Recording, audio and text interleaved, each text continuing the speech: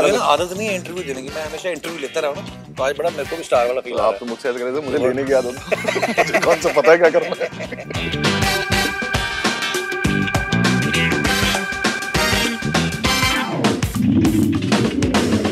hello and welcome to the Basti show और आज मुझसे मिलने एक बहुत ही खास मेहमान आ रहे हैं। मेहमान मेहमान क्या भाई मेरी कॉपी क्यों कर रहे हो?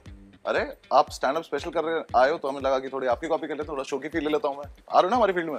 हमारी फ़ील्ड में क्या मतलब? मैं पहले फ्रूट बेचता था। मैं भी तो यही करता था पहले। हाँ लेकिन अब स्पेशल लेके आया तो थोड़ा अलग हो गया ना। Okay, तो आपकी तरह थोड़ी शो की फील ले ओके कैसा लग रहा है हमारा सेटअप वेटअप बहुत अच्छे। सोफे तुमने बहुत वो रखे हैं। हमारी तो हाइट मेरे से भी ज़्यादा है। सोफा थोड़ा ऊपर होना चाहिए वो थोड़ा डाउन टू अर्थ फील दे रहे हैं हाँ हम्बल वाला फील कैसे आप? बहुत बढ़िया। बस साहब आप सुनाओ। आपको नाम पता है मेरा? अरे।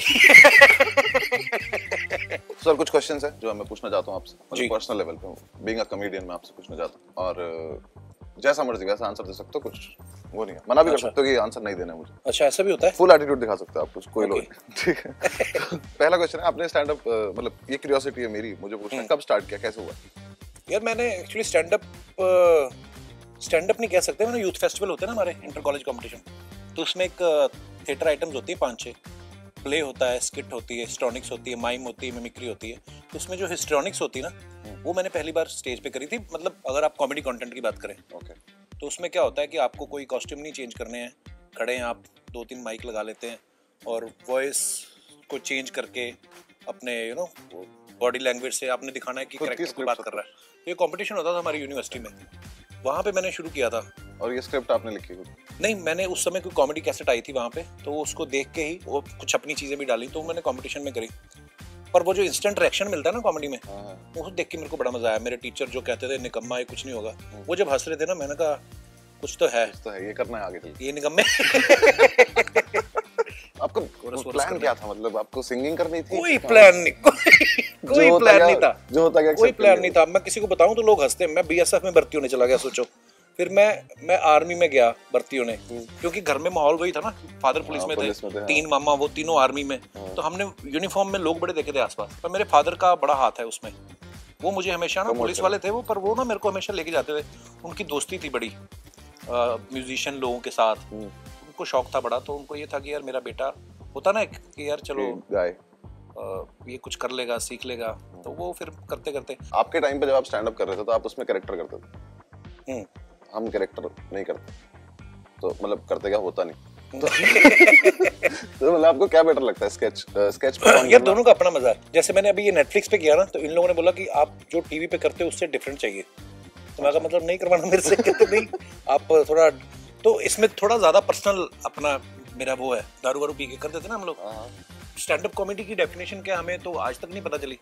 तो ये पता था कि यार खड़े होना माइक पे और हंसाना है कैसे भी हंसाओ। तो आप भी उसमें नहीं जाते ना बाय द बुक की सेटअप पंच लाइन प्रेमाइज नहीं मुझे नहीं लगता ऐसा कुछ है। आपने पढ़ा भी नहीं होगा ना ये सब? क्या है? ना क्या कुछ नहीं मैंने तो जहाँ पढ़ने जाता था फ़ीस दे के वहाँ नहीं पढ़ा। एक सेगमेंट है इसका जो इन्हीं लोगों ने रखा है मेरा तो कोई इंटरेस्ट अच्छा। इसमें आपकी कुछ फ़ोटोज़ हैं तो आपको वो फ़ोटोज़ आप ही के इंस्टाग्राम पे जो पड़ी हुई है। ओके। एक तो आपके लाइक्स इतने आते हैं एमपी बन जाए आदमी इतनी वोट मिल जाए तो देख। ये फ़ोटो कब किया? यार ये ये आई थिंक मैं सिक्स या सेवन स्टैंडर्ड में था। हम्म, ये मेरा बड़ा भाई है साथ में हम्म, जो पुलिस में है। तो इसकी इसका दोस्त और उसकी फैमिली वैष्णो माता जा रहे थे। ओके तो मैंने मम्मी से कहा कि हमें भी जाने दो। तो मम्मी जाने नहीं दे रही थी हमें। हम्म, तो मैंने कहा उस उम्र में ये सोचता था मैं दस साल का कि अब हम बड़े हो गए हैं तो हमें जाने हमें जाने क्यों नहीं दे रहे? अब मैं सोचता हूँ मैंने मम्मी से पूछा मैं कहा मम्मी कैसे जाने दिया तुमने? इतने छोटे बच्चे को कोई अलाउ करता है? ये ये कौन? ये किस गलत संगत में पड़ गए थे आप? एक्सरसाइज कर रहे यार ये ये बड़े कमाल के दिन थे। ये मैं फ़िल्म शूट कर रहा था। हाँ। खुद के पैसे लगा के जो फिरंगी बनाई थी ना मैंने। हाँ, हाँ उसमें और कुछ बनाना हो मेरी बॉडी अच्छी बन गई थी। तो ये मैं सुबह साढ़े चार अक्षय कुमार बन गया था मैं भी। साढ़े चार उठ के ओपन में वर्कआउट करना और फिर साढ़े चार बजे उठ के वर्कआउट करके नाश्ता करके सात बजे सेट पे पहुँचना ये उस समय की फ़ोटो फिर कब रियलाइज़ हुआ कि सब फिजूल चीज़ है? नहीं रियलाइज़ नहीं यार मैं अभी मुझे फिर मेरा मन करता है कि इसी शेप में वापस आऊँ। तो सेवेंटी टू है मेरा वेट इसमें। नाइस तो फिर नाइन्टी टू कर लिया मैंने। जब फ़िल्म फ्लॉप होगी ना। बस यही कमाया यही कमाया क्या मोमेंट क्या था ये? कुछ नहीं वो मैंने ऐसे लिख दिया कि सुप्रसिद्ध अभिनेता आशीर्वाद लेते हुए। हाँ। तो पाजी क्या कर रहे थे? मैंने उनके पैर छुए ऐसे तो बोलते ये हमेशा यहाँ तक ही छूता है यहाँ तक जाता ही नहीं है। तो उन्होंने ऐसे करके दिखा रहे थे। मैंने फोटोग्राफर में क्लिक करके किया मैंने डाल दिया। लोग मान भी जाते हैं। फैमिली में कहाँ से लगता है आपको कि वैसे मुझे थोड़ा बहुत लगता है कि मैं मेरी मम्मी की साइड से थोड़ा बहुत ह्यूमर है। हम्म, आपको क्या लगा आप मुझे लगता है मम्मी और डैडी दोनों ही। दोनों। हाँ क्योंकि मैं ना ये लड़ते बड़ा थे दोनों। मम्मी डैडी ना मेरे जब हम छोटे थे ना तो लड़ाई कैसे की? मतलब लड़ाई लड़ाई में पंच मारते थे वो। तो मेरे डैडी ना मेरी नानी को मिमिक करते थे। मेरी मम्मी को बोलना तेरी माँ आ गई है पैर टेढ़े करके। क्योंकि मेरी नानी पैदल बड़ा चलती थी। तो वो वहाँ से पैदल ही आ जाती थी पंद्रह बीस किलोमीटर चल के। अरे। तो मुझे तो बड़ा मज़ा आता था उनकी लड़ाई देख के इसलिए मैं छुड़वाता कभी नहीं था उनकी लड़ाई ना। मेरा बड़ा भाई छुड़वाता था उसको दो पड़ भी जाती थी डैडी तो मेरे को मज़ा आता था उनको देख के कि पंच मारते हैं लड़ाई में। पंद्रह साल से कैसे फनी हो आप? पंद्रह साल से कैसे फनी हो? मैं चालीस का हो गया भाई। नहीं मतलब आप इतना लंबी जर्नी जैसे मुझे तो अभी लगने लगता है चार साल में हो गया कंटेंट खत्म हो गया। मुझे लगता है जब तक दुनिया है कॉमेडी होती रहेगी। क्योंकि आप देखो ना सब कुछ हो रहा है ना। हम हम कहें कि रोमांस खत्म हो गया। हमारे हार्मोन्स वीक हो गए। बाकी बच्चे तो पैदा हो ही रहे ना अठारह बीस साल वाले उनको तो आएँगे वैसे वैसे सपने। हाँ। तो वो रोमांस भी चले गई सब इमोशंस चलेंगे। लेकिन होती रहेगी। में और हम मुश्किल है है। मुश्किल है। नहीं कॉमेडी करना बहुत मुश्किल जॉब है। वो आपकी बात मैं मानता हूँ। पर हाँ लगे रहो होती रहती है। कोई कुछ ना कुछ नया आता ही रहेगा हाँ। मतलब ये डर ना रखो ना मैं कि खत्म हो हाँ, जाएगी। नहीं नहीं नहीं। ये तो एक मैंने कढ़ाई का काम भी सीख रखा है इनके अगर